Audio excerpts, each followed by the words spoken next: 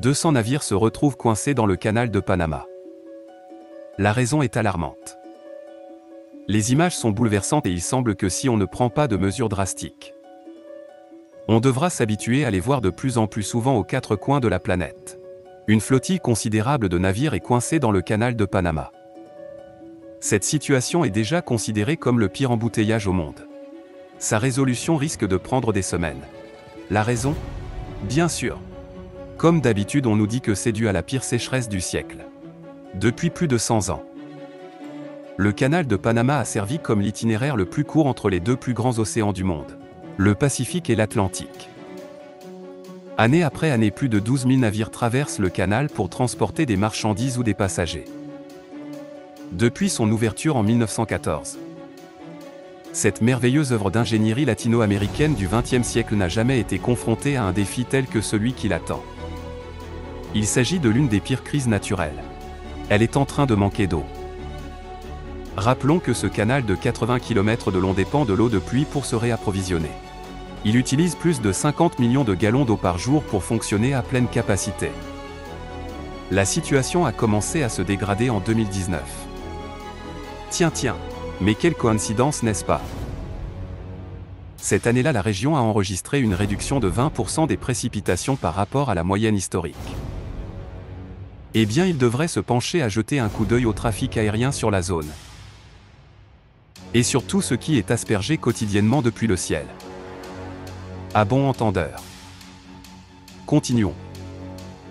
Quand il ne pleut pas assez, les autorités doivent réduire le trafic pour conserver l'eau.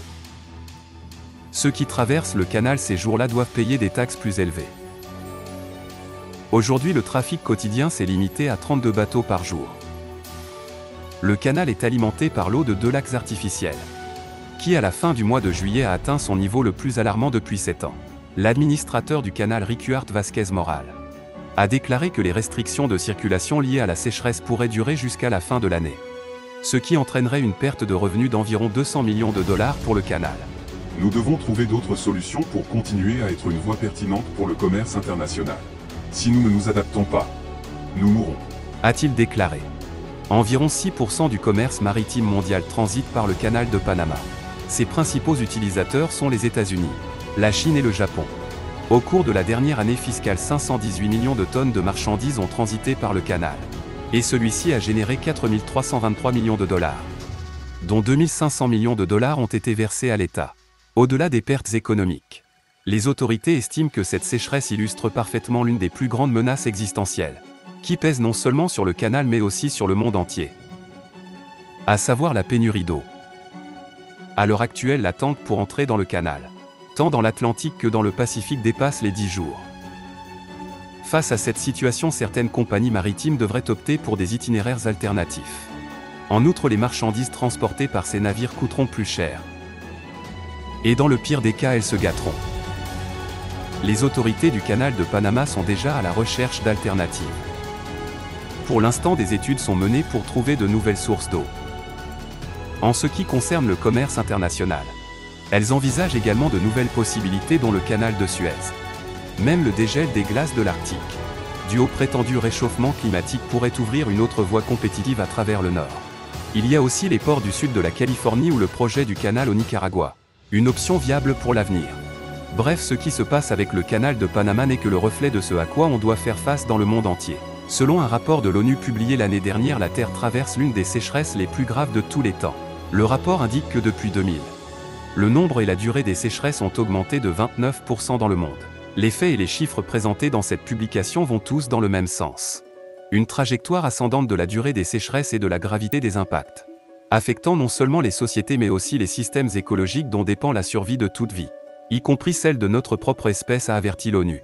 Eh bien mes amis, ce rapport de l'ONU, c'est l'agenda qui est distribué à tous leurs pantins, pour qu'ils le réalisent et en tirent le meilleur profit afin de remplir leur compte en banque. Puis de l'autre côté, on a les médias qui sortent pour vous informer sur les infos télévisées en vous disant les sécheresses représentent 15% des catastrophes naturelles survenues dans le monde entre 1970 et 2019 faisant le chiffre scandaleux de 650 000 vies humaines. Nous sommes à la croisée des chemins.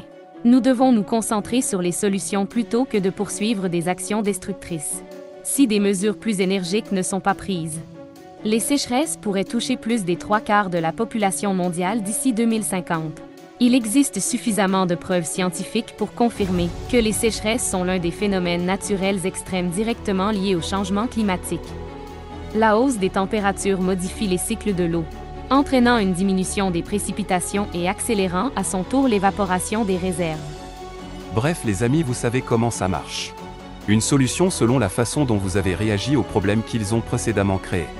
C'est-à-dire le fameux problème réaction-solution.